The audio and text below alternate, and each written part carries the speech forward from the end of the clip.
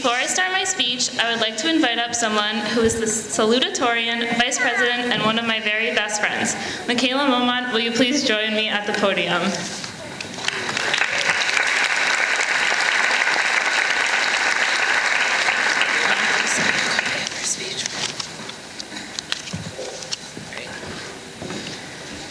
The members of the class of 2013 have stood by one another for as long as most of us can remember. Founded by friendship since the very start, we never hesitate to help each other out, demonstrating a sense of loyalty that has truly withstood the test of time. Being so close for so many years, our class has learned to collaborate and cooperate in all facets of our lives. So Michaela and I chose to speak together to exemplify this special dynamic and because we believe two, two brains truly are better than one. And as easy as it is to admit that all of us have been itching to get out of here, we can't deny that this building has been our second home for the last six years, and this group of people sitting behind me has been our second family for the past 13. Since the first day of senior year, we have counted down the hours and minutes until this moment. Now that it has arrived, we find ourselves excited for the future, but still gripping to the comfort and familiarity of the past because not only is today a day of celebrating all of our achievements thus far in life, it is also a day for goodbyes.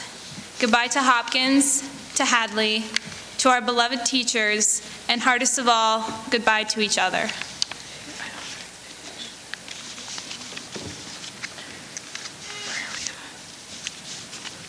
Many of us have been classmates for the past 13 years. That's two thirds of our life so far. We can barely even remember life before we were classmates. Over the years, we have grown and learned together. We have seen each other at our worst. We have also been there to celebrate in each other's successes. So many of us have been able to accomplish remarkable feats in our short 18 years. Tonight, we are proud of ourselves and our fellow graduates, not only for making it this far, but for everything else we've accomplished in and out of school.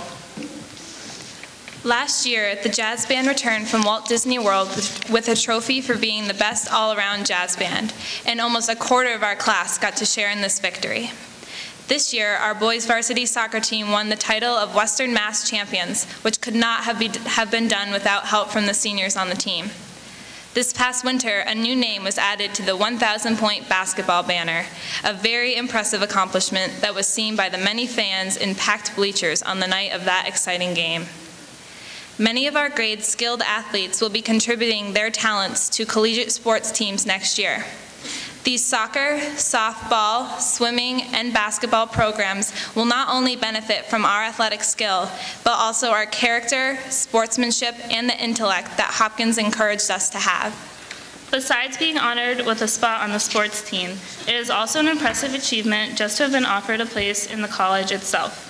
Numerous students from our class have been admitted into not only their dream colleges, but competitive programs within them as well.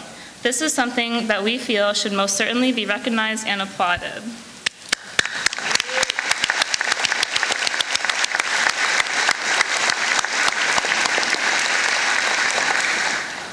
Nursing, physician assistant, biology, and psychology, just to name a few, are all intensive programs that will require a good work ethic and time management, but we feel that Hopkins has prepared us all for the challenges that await us. To already know your path of study at such a young age demonstrates a great sense of self-direction and self-discipline, and some of us have been lucky enough to discover our passion and begin to pursue it before even graduating high school. Our future pilot has already begun flying planes solo. Future nurses, midwives, physician assistants, and OBGYNs spend their free time volunteering at hospitals and are already planning the next steps that they will have to take in their schoolings.